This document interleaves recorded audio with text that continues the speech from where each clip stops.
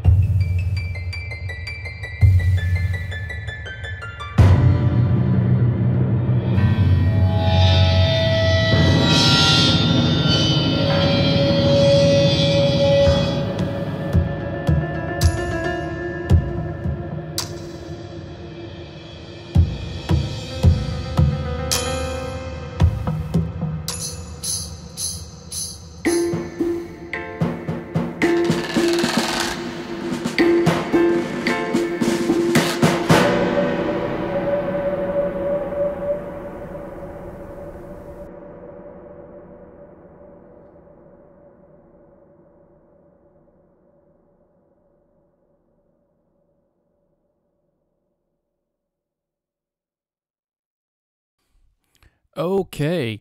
Uh, so if you have watched episodes one and two, or parts one and two, um, there's a different piece of music. This one is specifically percussion, features percussion, because uh, there's a lot of percussion sounds, and I wanted to make sure I used as many of them as I could. So, you know, kind of avant garde noise exploration type thing going on here. Um, so there are some there's there's a number one let's talk about some good things and some bad things. Um, there's a lot of sounds here which is great. I mean so if you take a look at the at the keyboard so all these different colors you know it's all different kinds of sounds. They're sort of grouped by um, you know it's like timpanis are here and then you got your uh, snare here you got your your bass drum. Um, and uh, I am using a pretty ridiculous reverb on here. Let's uh, let's go ahead and just turn that down a little bit because it's it's a little silly. Um, we'll we'll just flip the mix there. Um, all right, so whole bunch of sounds. Um, there's a couple of them that actually do have some issues that I want to address, and um, mm, it uh, makes some velocity levels unplayable, um, which is unfortunate. But hey, you know it, things happen. So it's a it's a free plugin, like I said in the other ones. It's free. It's free. It's free VST, and it's a pretty good orchestra sound. So you can't complain too much when it's free. Um, so uh, yeah, let's let's take a look. See here. Um, so we got all kinds of sounds going on here you know, some, some laser beam sounds. We, we got your kind of traditional percussion stuff. There's our kick, snares. We got cymbals in this octave, and then then we get into the timpanis, and you can explore all of these on your own. So. Um, uh, so one minor issue that I came across in a couple of the different sounds is I believe the problem is that the samples were recorded at uh, the noise floor was too low. Uh, they weren't. It wasn't a hot enough mic, and then they normalized the sample, and so you get a bunch of you get some sampling artifacts. Um, and then on uh, this particular one, this little side stick conga bongo thing here, um, you can hear it. And at first I was like, is that room? What is that? And then I kept messing with it. And the more I listened to it, I was like, oh no, that's a yeah, that that's a sampling issue. So, um, I mean, it almost sounds like rain or something going on behind it. Um, the timpani has a similar issue. There it is. Yeah, so it was sampled too low of a level, then normalized or something. There could be some other issue, but um, I, I, I, so I picked that up on a few different uh, instruments. There may be another one or two that I'm forgetting about uh, where it has that same problem, but that's definitely something to be aware of because it doesn't happen when you hit it hard. It's just when you hit it soft, and unfortunately, the distortion is louder than the note. So there it is. It's I mean it's a cool sound actually, but not what you're looking for if you're you know going for timpani, soft timpani. So anyways, uh, just some to be aware of. Yeah, so it does it on F sharp, G.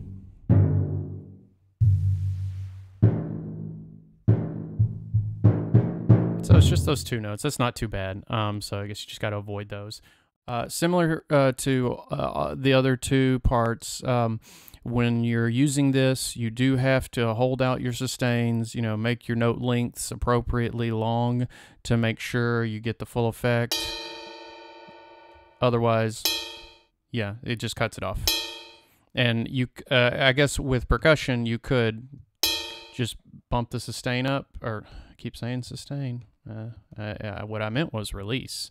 So you could bump the release up on these and um, you, you, you're going to be good for most cases, but you may not want the release for things like that. You you may want to you may want to stop it early.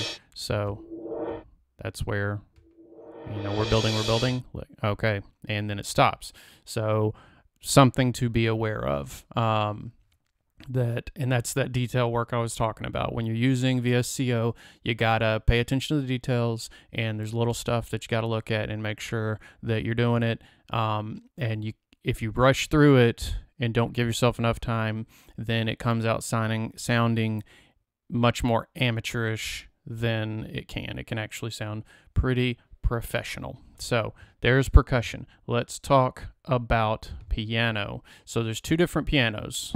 There's this one, which uh, I guess is kind of a concert piano, and then there is the upright piano.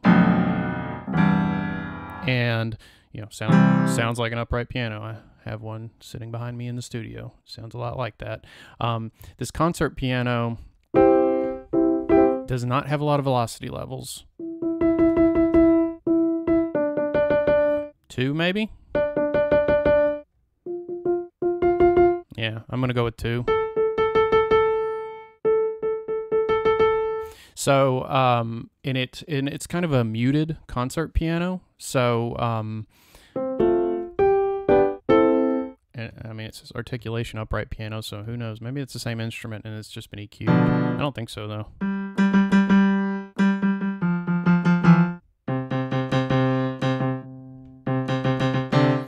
But whatever the case, um, the uh, so these two pianos, or maybe that's a little programming issue because you go to piano, it says upright, and then you go to the other one and it says piano instead of upright.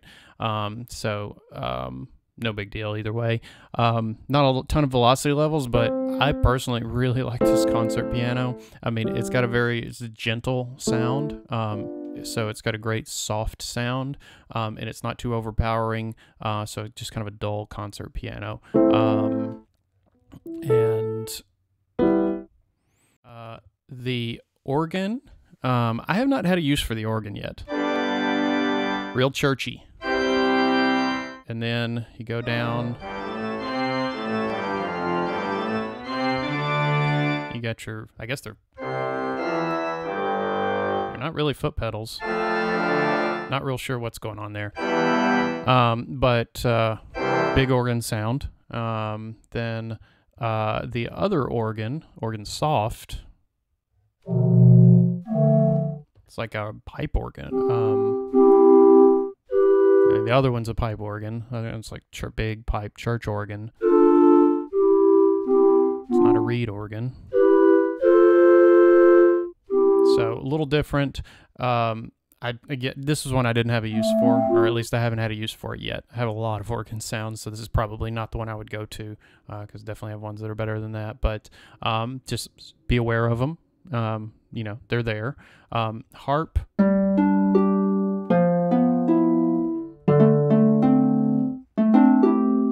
So, um, harp is one of those instruments that can sound really generic or can sound really good.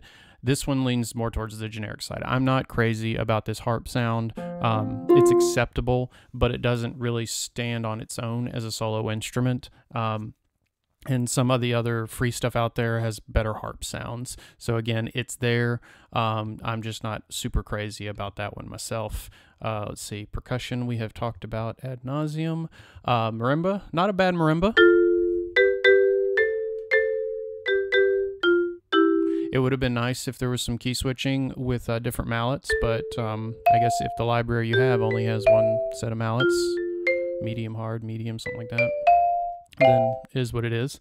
Um, but pretty decent marimba sound. Haven't had a whole lot of use for it yet because marimba's not something I go to very often, but it's there. Glockenspiel, one of my favorites. Um, one of my favorite instruments of all time. Um, and this is decent sounding. There's some better ones out there, but this is pretty decent. Um, just make sure that you know you're using your sustain pedal, your foot pedal, or you're holding out the notes to the appropriate length. Otherwise, you got a sh really short attack. Um, and then, last but not least, xylophone, which I only ever use it as kind of an accent instrument. Um, and this one's respectable.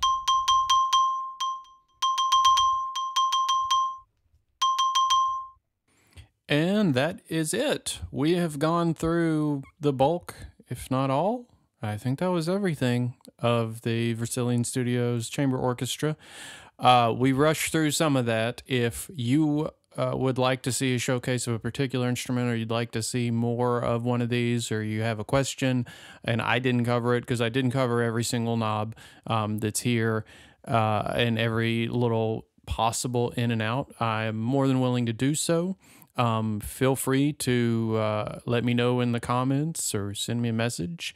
Uh, and uh, if you appreciate and, and uh, find this content useful, then um, let me know by subscribing uh, because that helps me know what I should do more of. Uh, and so this is the first of what will be many um, plug-in VST instrument library type uh, videos. I'm going to go through a very long list of them. There'll be ones that are DAW specific. There are ones that will be uh, vendor specific, like say Native Instruments, probably be a whole series on them, or Air Windows, there'll be a whole series on them. Uh, so uh, I hope you enjoyed it, uh, and uh, we'll see you next time. Thanks for watching. Cheers.